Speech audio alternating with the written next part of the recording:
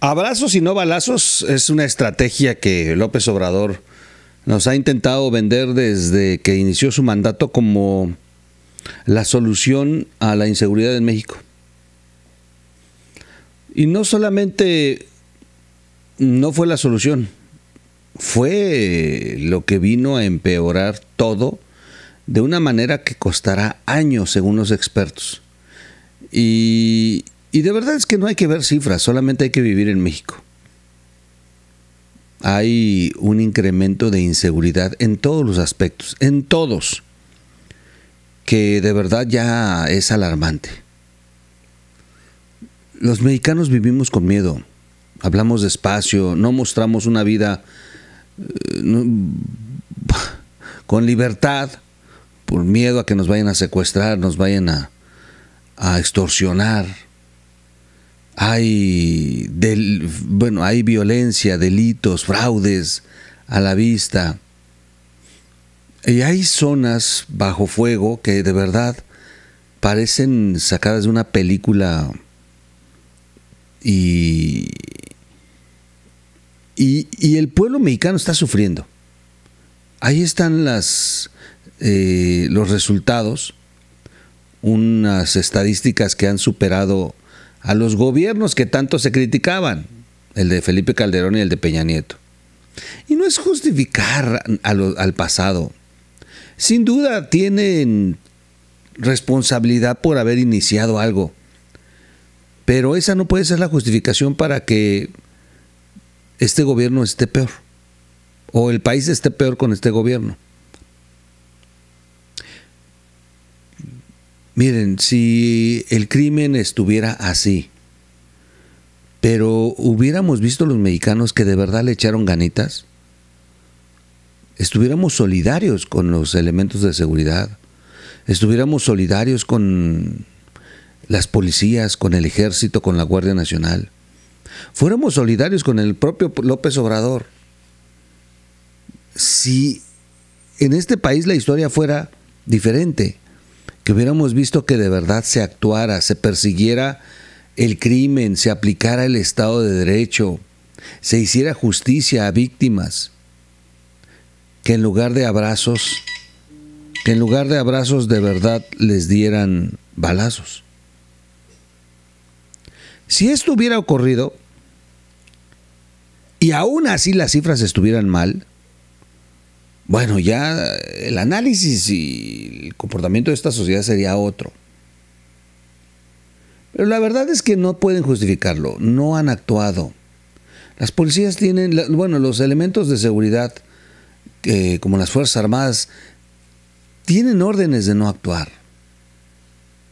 Patrullan, tienen presencia, pero no hay una acción eh, más que reacción para cuando los están atacando. La verdad es que los operativos han disminuido, las detenciones han disminuido, los acopios de, ah, de sustancias prohibidas son, han caído de una manera brutal. Pareciera que ya no hay eh, estos operativos para confiscar, para neutralizar y destruir. Es que cuando muestran las cifras de verdad es alarmante. No se, no se tiene una acción real y contundente. Y eso tiene consecuencias. Finalmente el país está ahora bajo el yugo de la, de la delincuencia organizada. La delincuencia organizada que se está mostrando en todos los aspectos. La delincuencia organizada, que no te permite transitar por las carreteras porque te va a poner piedras y te van a asaltar. La delincuencia organizada que asaltan transportistas al grado de inclusive asesinarlos. La delincuencia organizada que no puede ver transitando mujeres en la calle porque simplemente las secuestran y las terminan eh, vendiendo en el mercado negro la delincuencia organizada que ya no, ah, que nos ha generado un miedo a que los niños sigan desapareciendo. Es impresionante el incremento que hay de mujeres y niños desaparecidos en este país. La delincuencia organizada que está traficando con los migrantes, hay que ver nada más, son cientos de miles ya en el país desbordando. Y esa migración no es por una casualidad, esa migración la ha provocado también la, delincuencia organizada. La delincuencia organizada que está envenenando a nuestra juventud. La delincuencia organizada que tiene de rodillas a los, comerciantes, que los ha llevado al grado de bajar las cortinas. La delincuencia organizada que inclusive cobra cuota de piso por las tortillas, las tortillas. El crimen organizado siempre existió. De hecho, México tiene historias bastante interesantes frente a países como Colombia. Lo superamos sin duda.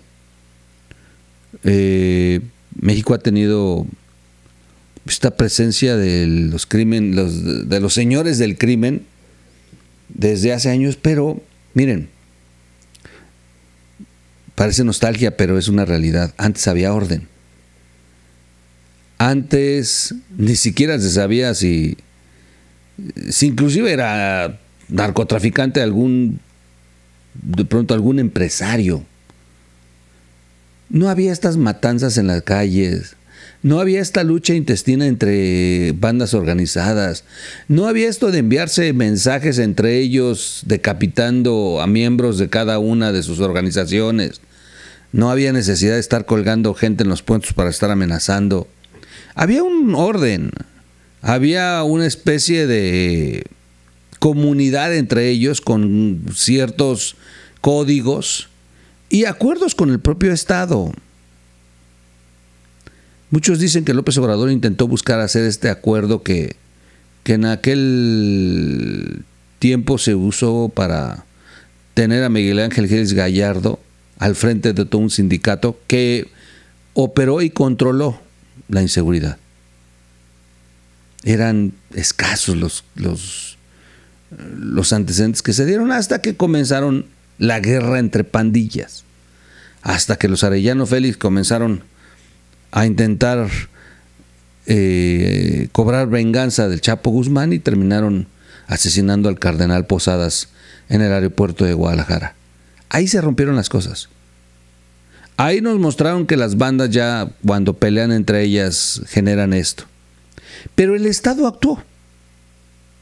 En aquel momento se les, se les volvió un escándalo este asunto del cardenal, que el Estado optó por desarticular el sindicato que había creado Miguel Ángel Félix Gallardo y terminaron en la cárcel Don Neto, Caro Quintero y Félix Gallardo. Y el resto de los cárteles fueron perseguidos y la gran mayoría fueron disueltos. Algunos se replegaron, otros comenzaron a trabajar desde la clandestinidad y luego vinieron nuevos zares como el Señor de los Cielos, que se convirtió en uno de los narcotraficantes más ricos que ha tenido el mundo y se pensaba que era Pablo Escobar. El gobierno siempre le ha jugado al inteligente con estas organizaciones criminales y al final lo único que termina ocurriendo es que no han funcionado los acuerdos se consigue una calma temporal, pero, pero ahí está la violencia presente. Nada más que hoy. Hoy es dantesco lo que está ocurriendo. Las imágenes que ocurrieron en Chiapas nos muestran el resultado del gobierno de López Obrador cuando tengamos una referencia de cómo fue la inseguridad con López Obrador o a qué nivel llegaron los cárteles a dominar este país, a pesar de que el gobierno lo niegue, vamos a mostrar siempre estas imágenes de entrando camionetas del cartel de Sinaloa y siendo aplaudidas, siendo festejadas con porras, por la sociedad.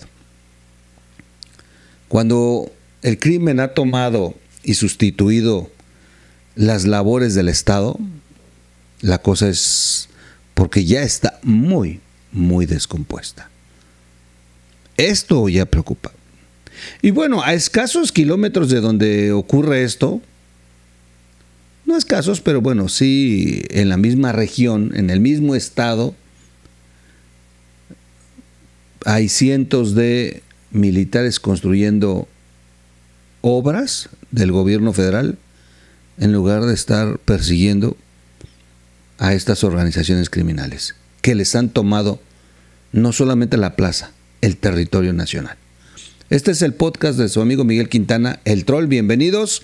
Bienvenidos sean todos. Vamos a, platicar de esto que ocurrió. Yo estaba esperando hacer video hasta saber la declaración de López Obrador, que ya sabíamos lo que iba a ocurrir, pero siempre es bueno tener lo que piensa López Obrador al respecto de estas imágenes que se movieron el fin de semana.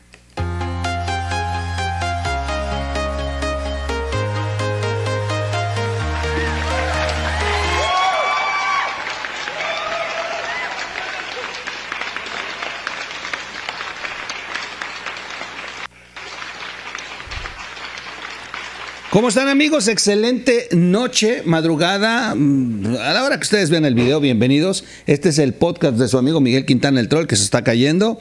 Esta es la red de información digital TV. Suscríbanse al canal, denle clic a la campanita para recibir notificaciones, like o dislike. Comenten el video, compartan el video y, eh, y de verdad gracias para los que para los que siguen en este canal. Eh, dicen, sean se han perdido miles de suscriptores. No, no, gracias a Dios, no. Fíjense que este, siempre, siempre me duele ver que se vaya algún suscriptor. Siempre. Pero ocurre. ¿A poco usted no, sabe, no le ha quitado su suscripción a algún canal? Y, no porque le caiga mal a veces, nomás porque ya le da hueva verlo. Seguramente a muchos les ha de dar hueva con tanto rollo que he hecho. Pero eh, al mismo tiempo llegan nuevos. Así que bienvenidos a los nuevos. Gracias a los que estuvieron y seguramente muchos regresan porque así pasa. Y luego otros que se suscriben, encuentran un video, les gusta y se vuelven a suscribir. Y así hacemos todos los usuarios de YouTube. Así que muy interesante, es un ciclo y bienvenidos los nuevos, porque siempre, siempre hay público nuevo con, con el que podemos platicar. Oigan, bueno, vamos rápido al tema. Este, una situación brutal, terrible. El, el, tema de estas caravanas que entraron en, Chiapas, que de verdad, wow, wow, ya es el resumen, ya es el resumen de lo que puede ser eh, el gobierno de López Obrador en una imagen. Convoys del cartel de Sinaloa desfilan frente a pobladores de Comalapa y estos, los pobladores, aplauden el ingreso de estos convoys, le hacen una caravana para recibir los presuntos, presuntos sicarios del cartel de Sinaloa desfilaron a plena luz del día y con los aplausos de, pobladores de la región de Comala, Chiapas. Chiapas que se ha convertido de verdad en una cosa de preocuparse. Chiapas que está de verdad bajo fuego. Y este es, es de verdad terrible. Vamos a, a poner el primer video, si me lo si me lo permiten, voy a ponerles el primer video para que veamos el contexto. Muchos vieron el video. Habría que, este, que platicarle, agregar esto, qué es lo que opinó el responsable de que el país esté así. Que esto es lo que más da escalofrío. No sé qué, qué da más escalofrío. Si ver estas imágenes o la respuesta de López Obrador en la mañanera. Vamos con los primeros videos, permítame.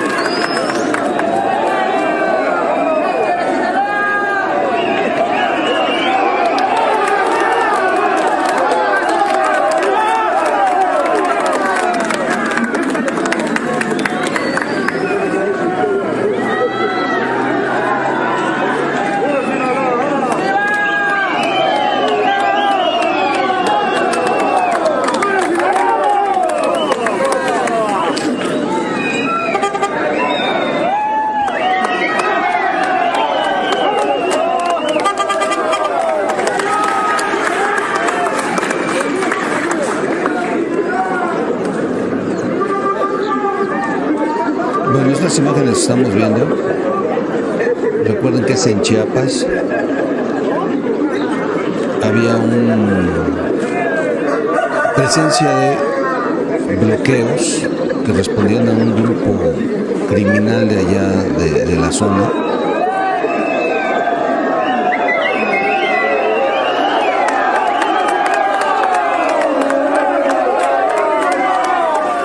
Y se supone que eh, estos presuntos integrantes del cartel de Sinaloa desalojaron estos bloqueos y por eso los reciben así en el pueblo.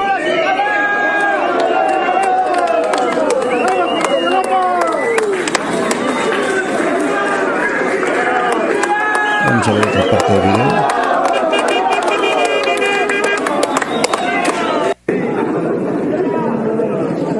Este es otro ángulo. Usuarios mismos del pueblo fueron los que subieron las redes sociales.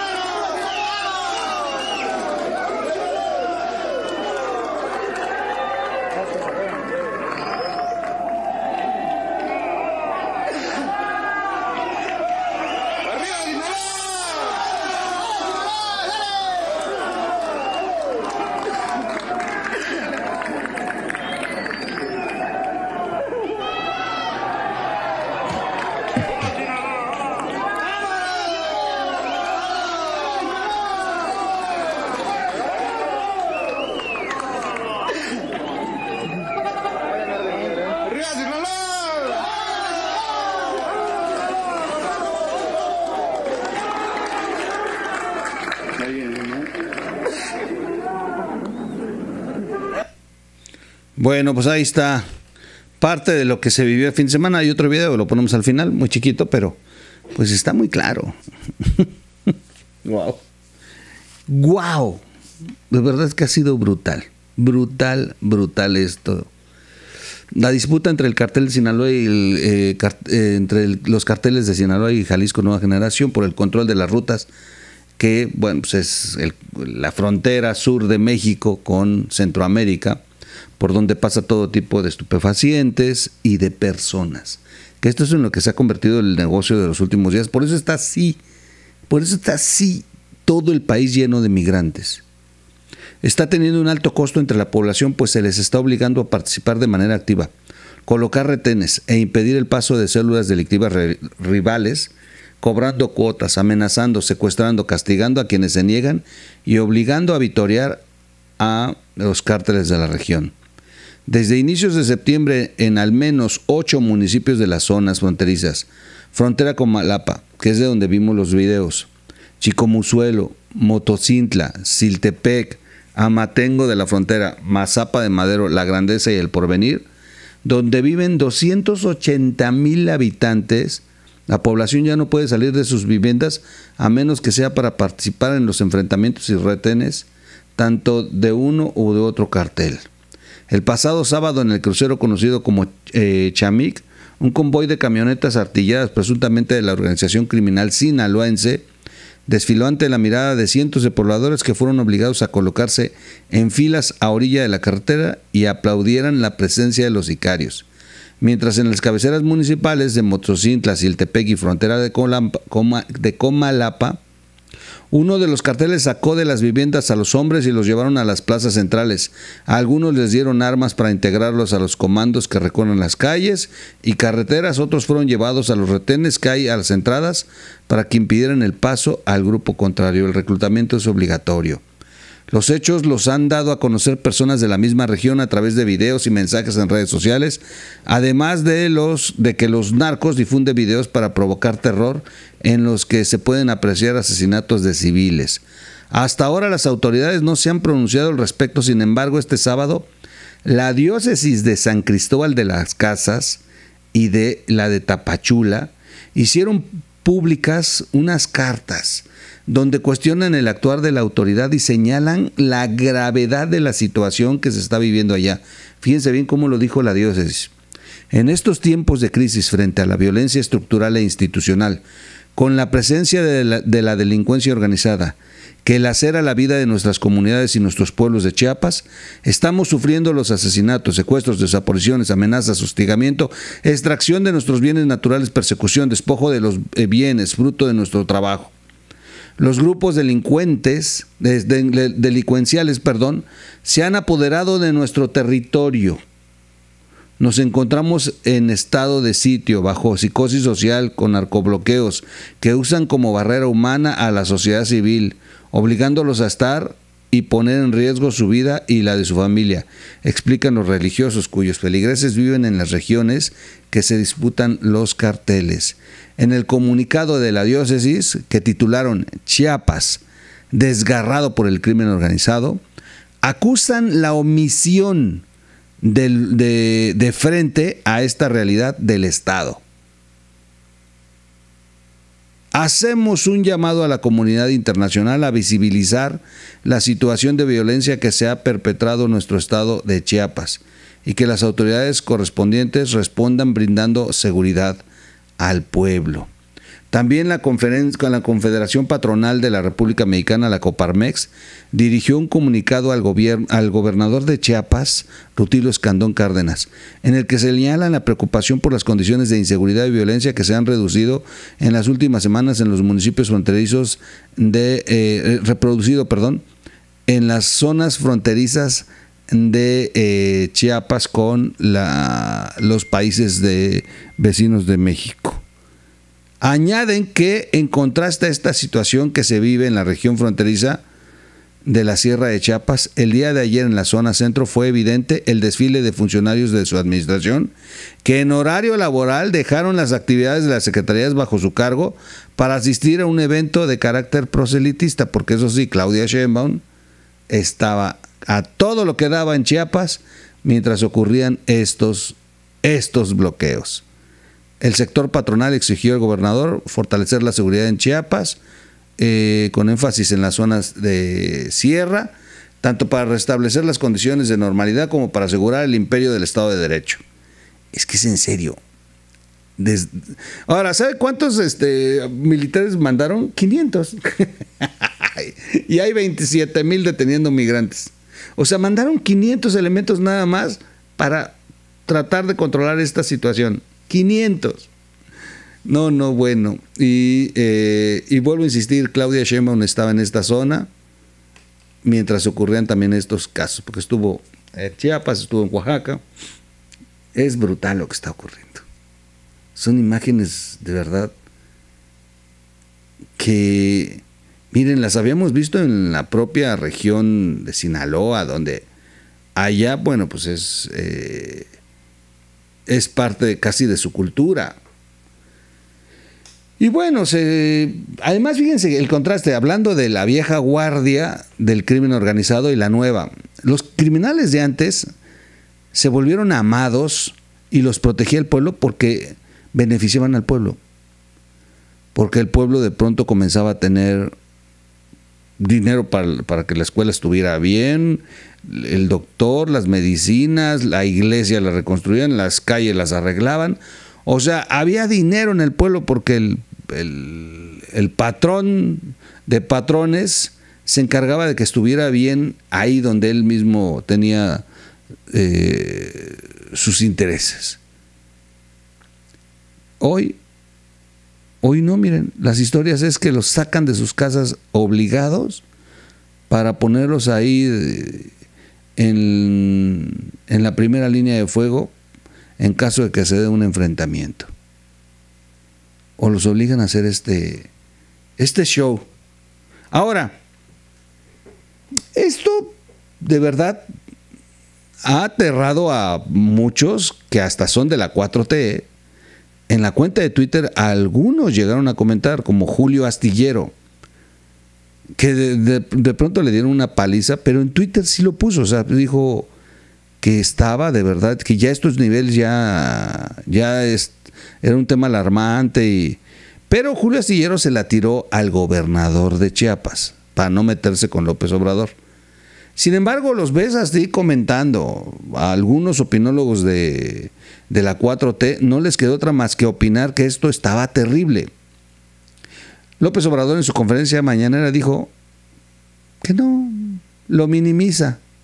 O sea, lo que siempre, minimizó esta disputa. Dijo, es un asunto muy limitado. Eso es lo que dijo López Obrador, literal dijo, es un asunto muy limitado. Y dijo que era un asunto más mediático, lo de siempre, echándole la culpa más a los medios. Dijo que envió más elementos, vuelvo a insistir, nada más mandó 500. Eh, dice que no es una situación generalizada en el Estado. Yo no vivo en Chiapas, pero colindo con Chiapas y tengo muchos amigos en Chiapas que en diferentes partes de Chiapas me comentan que la cosa está terrible, terrible. Y lo hemos visto, miren, ya en, en semanas y meses anteriores hemos visto cómo ha comenzado una disputa entre, entre los grupos que se pelean el control de plazas, el control de rutas, el control de eh, localidades para cobrar el derecho de piso, y se han visto los enfrentamientos. No puede decir López Obrador que sea nada más focalizado en una, zona, en una sola zona y que sea mínimo y que lo único que se está haciendo es magnificarlo con los medios. Bueno, pues el asunto ahí está ya evidenciado. Interesante lo que hizo la diócesis de San Cristóbal de las Casas y Tapachula, que emiten los comunicados, pero las imágenes han sido brutales civiles aplaudiéndole a miembros del, crimen organizado que arriban para para que este pues para tomar el control de esta de esta localidad. Voy a poner un poquito más del video final. Vuelvo a insistir, me, me quise esperar a, a, hacer video. No lo hice en la mañana porque quería ver primero la respuesta de López Obrador. Ya la tenemos es lo de siempre. Hay que cuidarnos, de verdad hay que cuidarnos. Abrazos y no balazos es el resultado de estas imágenes que estamos viendo. Oigan, pues yo soy su amigo Miguel Quintana. El troll este es el podcast de Miguel Quintana y este es RIT TV. Suscríbase al canal, dele clic a la campanita, dele like o dislike, comparta el video, comente el video.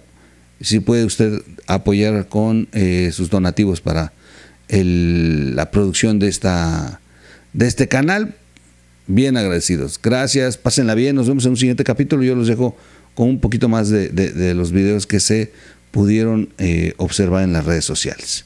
Nos vemos en un siguiente capítulo.